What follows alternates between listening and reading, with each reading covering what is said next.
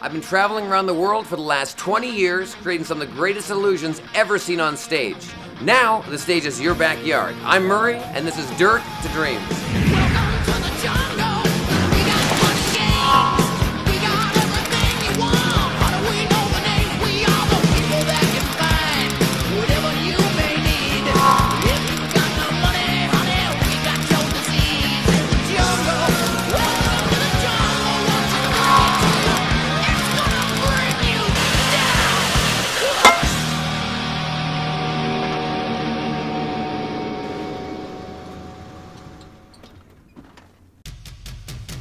You know, I started magic when I was like seven years old, and I got a magic kit when I was just a kid. And usually, with most children, uh, it's a toy.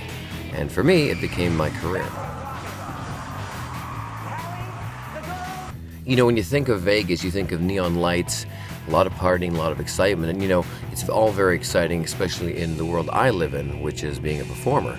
But you know, when I'm off, I really love to relax and work on my own yard, and also, um, you know, just kind of landscape and come up with these really creative ideas that I can't do on stage and do in your backyard. Hi, my name is Emily Burton. I live in Las Vegas. I bought a house a couple years ago. I really love my house, but unfortunately the backyard is crap. And so what I'd really like is to be able to come home and be able to sit outside and have a cup of tea in a nice backyard. I don't have that. Great. Murray, here's my yard. This is the yard. Yeah. I moved in, it was all construction gravel, nothing. All right. Just pretty much how it is now, except my mom, who's one of my best friends in my whole life, she gave me trees. This is one of her first presents she gave you uh, for your new house. Yeah, exactly. And this is one. This is the first house you've ever had, right? This is so it's Yeah, a big deal. it. I can do anything I want with this yard. Sure. So me and my team can come in, long as I protect the watermelons. Yes, as long as you don't hurt the All right, watermelons. and protect your mom's tree. We can do whatever we want in this yard. Deal. All right, thanks. Awesome. Now you gotta get out of here. Three days. Get out. Okay, Can't okay, be here. Can't okay. look. Get away. Three days. My very good friend Katie's getting married. I promised her we'd have a bridal shower at my house because I was like, oh yeah, I'll have a new yard and it'll be awesome. And honestly, I don't know if it's gonna get done in time. There's a lot to get done. I mean, I'm looking at this yard and there's nothing here. You know, I'm just trying to keep Murray focused and trying to keep us on a timeline because sometimes Murray focuses on one particular thing and spends extra time and he wants everything to be perfect. And I want it to be perfect too, but we got to keep on that deadline. All right, guys, this is the yard we're to be working on. We have 72 hours to get this yard from this dirt into somebody's dreams. You know, day one, I laid out all the plans and the design, what we wanted, but you know what? The scary thing is, we only have three days to do this. You know, we got a team of five to 10 people, and we're to try to make it happen, but there's a lot of work to do in a very short amount of time. You know, day one was really exciting because everyone was starting on their projects. We started stuccoing the wall, we moved the garden. She had the flower bed over there, and so we wanted to move it over and make sure that they were all really well taken care of. So I had to uproot every single one of them, carefully put it in a wheelbarrow, and then put it back in. Now I'm gonna start working on flowers in the rest of the yard. And of course, we had all the trees delivered, and we were starting to lay out where the trees would go. So it was really neat to see at the end of day one that this design was really starting to come around. Murray called me uh, to build uh, some bird cages and uh, a shed for Emily's backyard. So I actually had to make additions to it and make it pretty much three times as big as it was. So that was uh, kind of a challenge to fit everything back together in a time crunch. Hey man, this thing is absolutely huge. Like, This is what you wanted, right? I know, but we got to get it to the gate. There's a gate in the side. You didn't say anything about a gate. Really? Yeah. All right. All right, we're straight now. I don't think we're going to get through that gate. We got to make a decision. Uh, we need to make a decision up or Well, down guys, now. Because Sean's, Sean's holding this whole thing over here. All right, guys. You know what? This isn't gonna work. We're not, it's not gonna fit through the gate. It's not gonna. I mean, we've tried this. So now, unfortunately, as you know, the shed's not gonna fit her on the side. We just tried that. So we went to our last resort, and unfortunately, it's gonna cost us more money because we need a crane to lift the shed all the way over the, uh, the roof of the house. So that's where we're at now. So let's uh, let's hope it works.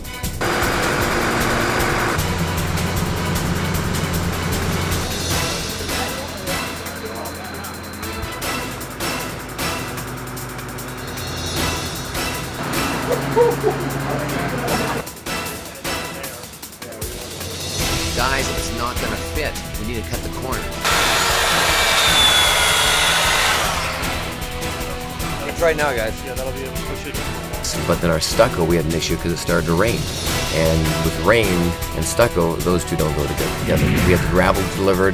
That came in nicely. We weren't done even half of that wall, you know, by day two. So it was a huge concern for us. They don't know it, but I'm the brains behind the whole operation, so I'll have the final say on everything. We do things together, and uh, we work as a pretty good team, I guess. Few little obstacles. It's a kind of a small backyard to work with, but we want to make it look really lush. So we're going to bring in a lot of plants. Uh, when it's all finished, it's going to look fantastic.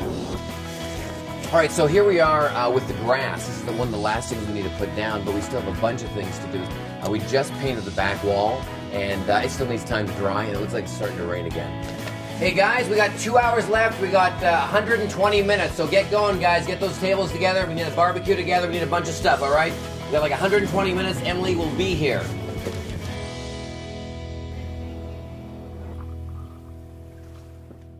It's finally time. Uh, Emily and she brought her lovely mother with her for the reveal. I'm really excited because it took 72 hours through the yard. We were battling the rain with paint not drying and a bunch of other stuff, but we're here. You know what? It's raining a bit, but the reveal's going to happen no matter what. We worked too hard. They're here. We're going to show them. Ladies, come on, let's check it out.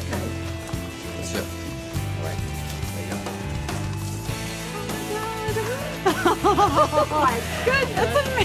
you go. What do you think? Oh my gosh! This isn't my yard. No. You can use it as your living room. Oh my god! So I want to take you for the tour around your yard, just because we did a lot of things. You may see some old things changed around. Um, so first of all, Emily, I knew you were really worried about your garden, so that was the first thing we changed over. Emily was thrilled we found a third watermelon in her brand new garden. Added seven koi fish to her new pond. Created three bird cages for her hanging flowers. A fireplace and woodshed with storage for chairs. A hammock for her days off.